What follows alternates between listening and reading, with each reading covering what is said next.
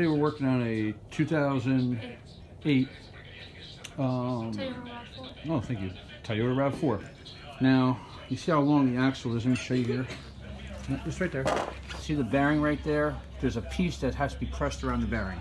And it's held in by a snap ring. You can't see the snap ring, but you can't see it from in there either, unless you take out the whole piece. There's two reverse 14s that hold it on here and a set pin that holds it into, into place. And it's really in there. So make a long story short, we're trying to figure out how we couldn't press it. It wouldn't press out. And uh, unnoticeably on the other side, where there's like no room where the axle meets this part, there's a snap ring hidden in there. I mean, I really didn't see it. I mean, I should have known, but we're actually about to press it out right now. Hold the bottom leg.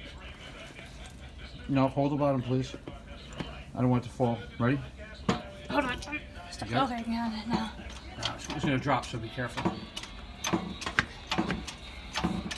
Alright. You got to put the same one back up. Press that case over the bearing. Almost there.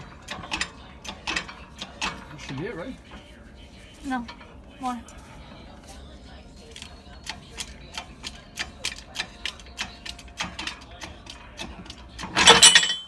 Oh, And eh, face. that's it right there. okay? Yeah. Now hold on. It didn't hit me. Okay, good. Now, see how this is? Mm, this up.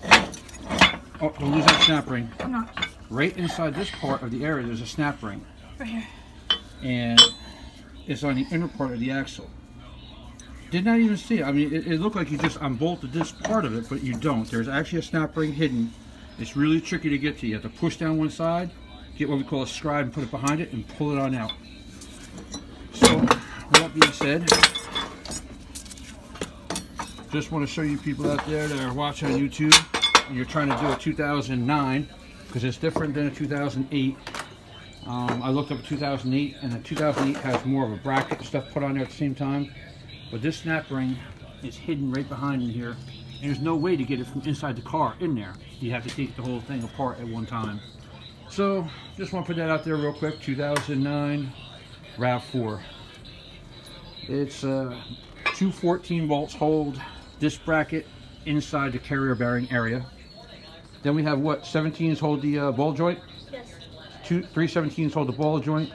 There's also a special uh, socket that you need for Toyotas to take them off. And this little socket right here cost me a hundred bucks. But you see how it's like rounded in there? No socket will fit this nut that's on here. But the replacement one, they give you a regular nut. Got that snap ring? All right. All right, just want to make a quick, this was a kind of a how-to video, but again, 317 bolts, right, for the for the ball joint. That special nut, if you're working on a Toyota, you need that special socket. And uh, the two 14s are reverse bolts that go in. Take it out, slip it out, get that little snap ring off there, and then reverse procedure.